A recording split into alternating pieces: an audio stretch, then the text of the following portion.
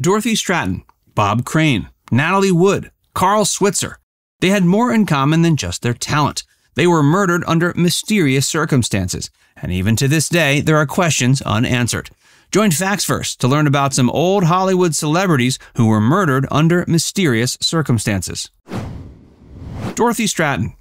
Dorothy Stratten was born February 28, 1960, in Vancouver. While still in her teens, she worked a part time job at a Dairy Queen when she wasn't in school. Around this time, she came into contact with Paul Snider, who took interest in her, and the two started dating. He was not only smitten with her, he also realized she was incredibly beautiful and could make a career solely from her looks. He convinced her to pose for him, including for several nude photo shoots. He took high quality photographs of her and sold them to various magazines, including Playboy. Eventually, Playboy took notice, and after graduating high school, she became a Playboy model. It only took a few months for her to become a star. She became Playboy Playmate of 1979 when she was only 19. Around the same time, she met filmmaker Peter Bogdanovich, and the two fell in love and got married. All seemed well, except it wasn't. Paul Snider was enraged at Dorothy's success. He felt he was solely responsible for her fame and glory, and he wasn't getting his cut. He also wanted fame and was perhaps angry she had left him and was now married to Bogdanovich. When she was working on her husband's film, They All Laughed, she decided to meet Paul Snider to end their relationship and resolve any issues. What happens next remains a mystery. Eventually, Dorothy's body was found, covered in blood. Next to her was Snider's body. He had apparently shot himself. It was also discovered there was a strange apparatus in the room, which apparently Dorothy was tied to. The apparatus was a sex bench invented by Snider, and it's believed that perhaps he wanted to sleep with her after he murdered her. Dorothy Stratten was only 20 years old when she was murdered. Peter Bogdanovich was naturally traumatized by the murder, but he moved on and eventually married Dorothy's sister Louise, and they stayed married until their divorce in 2001. Bob Crane. Bob Crane began his career as a radio broadcaster in 1950 when he was 22 years old. He was so successful that different radio stations would fight for him, and he'd move to different stations as the offers rolled in.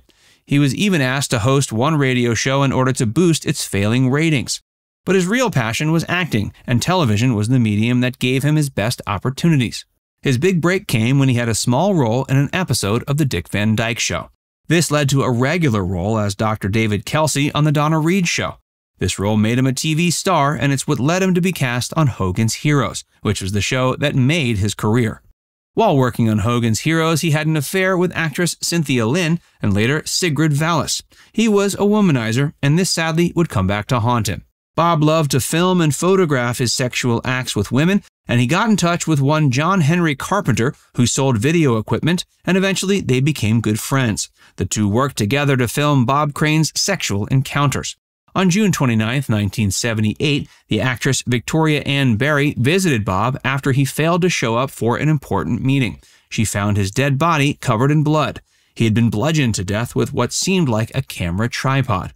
No one knows why Bob was murdered, but it was believed he had become sick of John Carpenter and no longer wanted to be friends. The court case went on for several months until Carpenter was acquitted, as there was no strong evidence pointing to his possible guilt. He maintained he was innocent until he died in 1998, but the stigma of the accusation hung over his head until his death. Even after John Carpenter's death, Bob Crane's murder was still widely discussed, and the 2002 film Autofocus was a portrayal of what may have happened. Natalie Wood. Natalie Wood's mysterious death is still being investigated today, with the case being opened, closed, and reopened many times since her death on November 29, 1981. As of 2018, her former spouse, actor Robert Wagner, is considered a person of interest in the investigation. In 2022, he was cleared as a suspect, yet the case still remains open and unsolved. Natalie Wood was shooting for a film called Brainstorm and was aboard a yacht called Splendor, where part of the film was being shot. Her body was found floating nearby, and apparently she left one of the inflatable boats. She had close to 40 bruises and even abrasions on her body. Speculation over her murder continues 40 years later. She apparently had an argument with Wagner on the boat the same night she died. Christopher Walken, her co star, was also a suspect, and his wife Georgianne wasn't on the yacht, and there's still no explanation as to why this was the case. Carl Switzer. Actor Carl Switzer was best known for playing Alfalfa in the Our Gang TV series. At age 31, the former child star was murdered at a home in California, apparently from a fight. Sadly, his career, like so many former child stars, faded away after the show ended. He was clearly exploited as he never received any royalties from the show. He still continued acting, but his roles were small and rather insignificant for the most part. He also had to take odd jobs here and there to make enough money. He had a few issues with police as he struggled financially for much of his adult life. On January 21, 1959, Switzer went into the home of Mr. Moses Stiltz in a Mission Hills neighborhood. Switzer allegedly went to collect money from Mr. Stiltz that he was owed. A fight ensued, and Carl was murdered. The full details and how the fight started still remain up for discussion, but we do know that Moses Stiltz ended up shooting Switzer. The court and jury ruled it was a justifiable murder. Jean Harlow's husband. MGM studio executive Paul Bern was found dead next to a suicide note after confessing he was still married to someone else. Who this mysterious woman was raised a lot of eyebrows, as Paul was married to one of the biggest film stars of the time, Jean Harlow, but it was believed that Dorothy Millette was actually Paul Bern's first wife.